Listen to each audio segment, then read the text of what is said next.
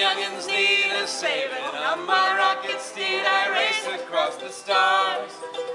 Cause I'm sworn by the birds of my astrospheres to right the outlaw wrongs on Mars. Everybody. Yes, he rights the outlaw wrongs on Mars. Oh, the hyper cattle's humming and the Martian savage drumming Are as beautiful as comet bugs in jars. Earth. So what? the wrongs on Mars. Yes, he rights the The wrongs on Mars. On the plains, the red planet, I uphold the law, and I do it with a pair of robot fists. How? Evil extermination I have faced, but my robot bros they hardly ever. Hardly ever miss. And I reckon I'll be truth and justice for as long as I can count the shooting stars.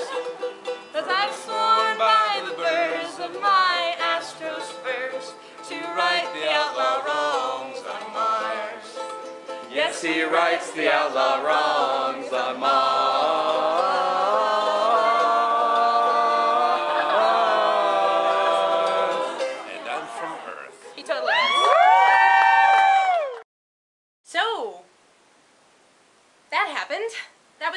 Evan Jackson after the Thrilling Adventure Hour show on April 1st. How did that happen? A lot of people have been asking me that over the last few days, and there's actually kind of an interesting story with some serendipity and little pieces falling into place, ins and outs, and what have you. Quick glossary of terms depending on what angle you're coming at this from, from what angle you are coming at this video. Yes. What is Thrilling Adventure Hour? It's a live stage show come podcast in the style of old time radio. It's been performed for the last 10 years in Los Angeles. Who am I? I'm Sarah Shay. I'm a musician in Seattle. I play washboard in a folk punk band called the Mongrel Jews, and I also play ukulele and sing some nerdy solo songs sometimes. I like going busking, which is street performing for you rubes. And occasionally I like to slip in a little nerdy song when I'm playing for the muggles at my local farmers markets. I was doing exactly that about six months ago when I saw Molly Lewis, another local musician who happens to know some of the Workjuice players. She came by, I sang the Sparks Nevada theme, she made a little video, posted it on Twitter, and then it got retweeted and pinged around enough that both Ben Acker and Ben Blacker, the creators of the show, as well as Marc Evan Jackson, who plays the titular role in Sparks Nevada, Marshal on Mars, their space western, had all seen it. Marc responded to the video and said, I love this, may we please do a duet someday. I was of course entirely delighted by this, but I didn't think it would really happen, especially when later that month they announced that their monthly live shows would be ending in April. I'm a struggling musician, so chances were slim that I'd be able to afford a flight to LA, even if I could get one of the fast selling out tickets to their final shows. But, due to the incredible generosity of one of my local friends who's also a fellow adventureketeer, and the fact that they added an extra show on April 1st, I was able to go. My friend Thomas and I flew down the night before, and I brought my ukulele because I always bring my ukulele. But the night of the show, when we were getting ready, I decided I wasn't going to bring it. It just felt weird carrying this case around, presumptuously assuming that Marc Evan Jackson would want to sing with me. Confidence issues. Luckily, Thomas was able to convince me to bring it along and at least leave it in the car. We went to the show and it was amazing.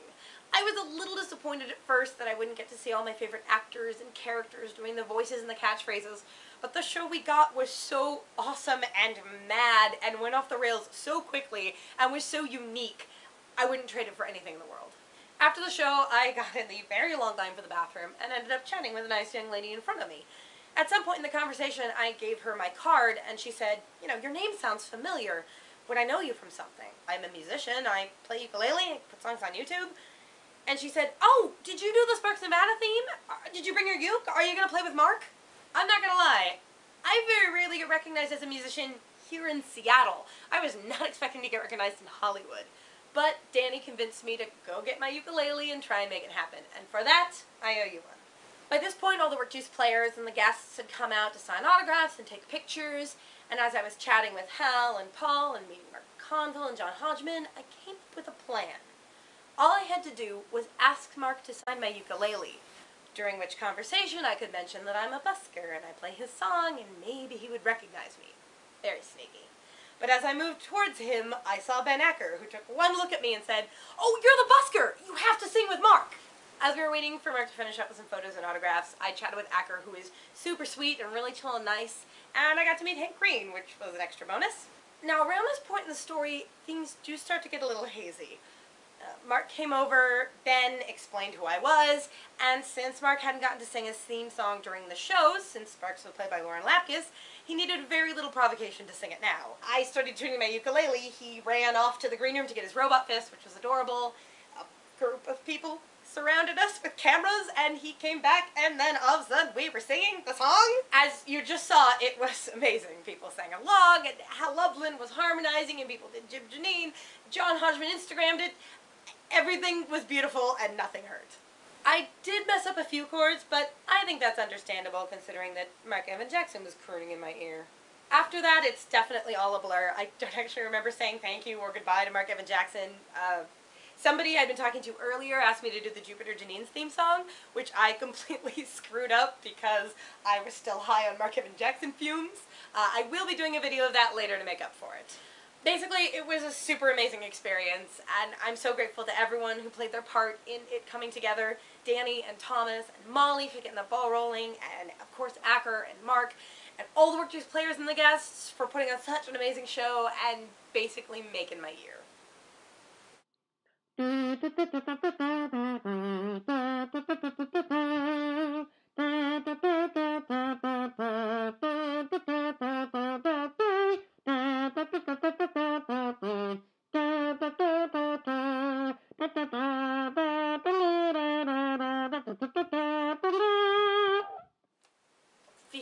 crime is the worst kind of crime.